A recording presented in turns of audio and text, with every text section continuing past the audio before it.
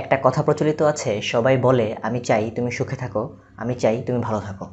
কিন্তু কেউ আপনাকে সুখে রাখার দায়িত্ব নেবে না, কেউ আপনাকে ভালো রাখার দায়িত্ব নেবে না।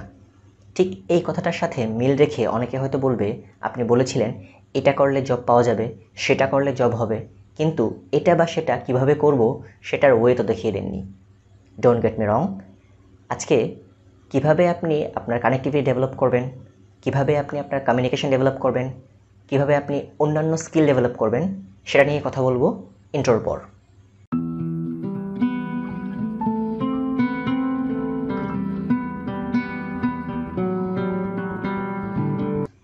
ফেসবুক ফ্রেন্ড লিস্টের একটা এক্সাম্পল দিয়েছিলাম আগের ভিডিওতে। সেখানে আমি বলেছিলাম, আপনার নাম্বার অফ ফ্রেন্ডস হচ্ছে আপনার কানেক্টিভিটি আর যাদের সাথে আপনার একটা রেগুলার ইন্টারভ্যালে কথাবার্তা হয়, যোগাযোগ হয়, তাদের সাথে আপনার কমিউনিকেশন আছে। আগের ভিডিওটির লিঙ্ক আমি এই ভিডিও ডিসক্রিপশনে দিয়ে দিব। আপনি চাইলে দেখে আসতে পারেন। কানেক্টিভিটি ডেভেলপ করার জন্য আপনি যদি ফেসবুককে বেছে নেন, তাহলে ফেসবুকের আপনার যে প্রোফাইলটা আছে, সেখানে কিছু সেটিংস চেঞ্জ করতে হবে। যেমন ধরুন, আপনার নামটা যেন অবশ্যই আপনার সার্টিফিকেট নেম হয়। তবে হ্যাঁ আপনি চাইলে পরবর্তীতে সেখানে নিকনেম অ্যাড করতে পারবেন, কারণ ফেসবুক আপনাকে সেই সুবিধা দিয়েছে। তারপরে, কোনোভাবেই যেন আপনার নাম অমুক রাজকুমার বা তমুক রাজকুমারী না হয়, অর্থাৎ ফেক না হয়। তারপর আপনার প্রোফাইল পিকচারে যেন আপনার একটি আপডেটেড ছবি থাকে, যাতে করে লোকজন আপনাকে চিনতে পারে।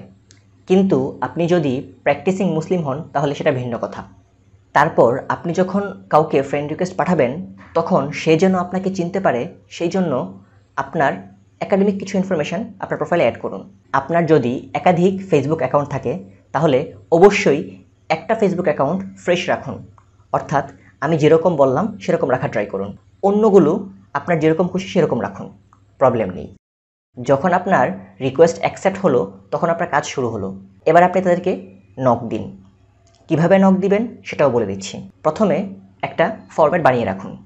সেখানে সেলুটেশন থাকবে, অর্থাৎ আসসালামু আলাইকুম ভাইয়া বা আসসালামু আলাইকুম আপু তারপর হচ্ছে আপনার নাম থাকবে, যে আমি অমুক। তারপর হচ্ছে আপনার পারপাস থাকবে। পারপাস তো একটাই যে আপনার সাথে পরিচিত হওয়ার জন্য আমি আপনাকে নক দিয়েছি। কানেক্টিভিটি ডেভেলপ করার জন্য আপনার শুধু ফেসবুকে পড়ে থাকলে চলবে না। কারণ ফেসবুক কোনো প্রফেশনাল প্ল্যাটফর্ম না। আপনার অবশ্যই একটি লিঙ্কড প্রোফাইল থাকতে হবে। কারণ সেটি হচ্ছে সম্পূর্ণ প্রফেশনাল একটি প্ল্যাটফর্ম লিঙ্কটিনে যখন আপনি কাউকে কানেক্ট করবেন, তখন সেখানে একটি টেক্সট অ্যাড করে দিন। সেখানে আপনার একটি শর্ট ডেসক্রিপশন দিয়ে দিন। যেমন ধরুন, আপনার নাম, আপনার কারেন্ট স্ট্যাটাস আপনার ফিউচার প্ল্যান এগুলো ব্রিফলি লিখে দিন। এভাবে আপনি আপনার ডিপার্টমেন্টের সিনিয়র টিচার এবং অন্যান্য প্রফেশনালসদের সাথে কানেক্টেড হতে পারেন ভার্চুয়ালি তাছাড়া ফেস টু ফেস কথা বলার সুযোগ হলে সেটা মিস করা যাবে না। জীবনে যখন যেই সুযোগটা আসবে, সেটার বেস্ট ইউজ করতে হবে। সেক্ষেত্রে আপনি বলতে পারেন, নিজেকে সুযোগ সন্ধানী হতে হবে।